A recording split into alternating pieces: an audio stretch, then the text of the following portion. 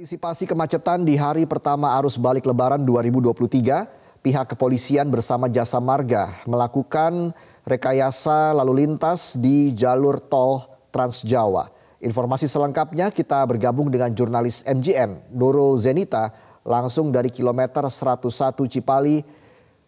Nurul, selamat sore. Bagaimana situasi arus lalu lintas di sana? Selamat sore Reza dan juga pemirsa. Untuk situasi arus lalu lintas di Jalan Tol Jakarta Cikampek, tempat saya melaporkan saat ini adalah kilometer 57. Dan memang situasi arus lalu lintasnya cenderung ramai lancar, baik itu untuk jalur menuju ke arah Jakarta ataupun untuk jalur menuju ke arah Cikampek. Dan memang untuk pemberlakuan kontraflow sudah dimulai sejak tadi sekitar pukul 14.45 dan diprediksikan uh, akan berakhir sampai dengan pukul 12 malam malam nanti.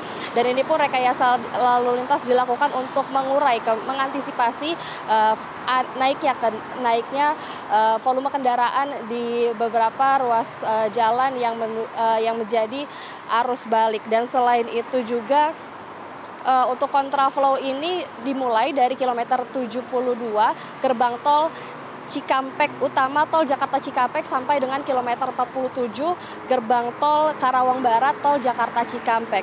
Dan selain kontraflow, pihak kepolisian bersama Jasa Marga juga menerapkan uh, rekayasa lalu lintas lain yang diterapkan di uh, tempat saya melaporkan saat ini yaitu penerapan ganjil genap dan penerapan ganjil genap ini memang sudah diberlakukan dari dari kilometer 414 gerbang tol Kalikangkung tol Batang Semarang sampai dengan kilometer 47 gerbang tol Karawang Barat tol Jakarta Cikampek dan baik itu rekayasa lalu lintas kontraflow ataupun ganjil, ganjil genap ini akan berlangsung sampai dengan pukul 12 malam. Namun memang e, nanti pemberlakuannya tetap merujuk pada situasi e, di lapangan nanti.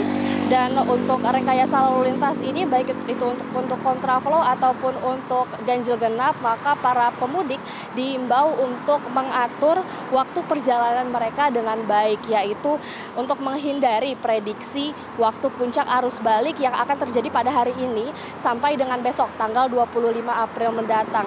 Dan untuk itu juga memang uh, rekayasa lalu lintas ini diberlakukan menjadi uh, dipisah menjadi dua dua periode yaitu hari ini adalah periode pertama sampai dengan hari Rabu dan untuk periode keduanya dimulai pada hari Sabtu 29 April sampai dengan hari Selasa tanggal 2 Mei mendatang.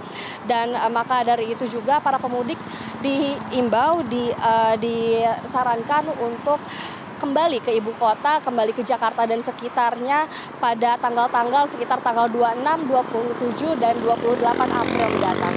Demikian Reza. Baik, Nurul Zenita melaporkan langsung dari Tol Cipali. Terima kasih atas laporan Anda dan selamat bertugas kembali.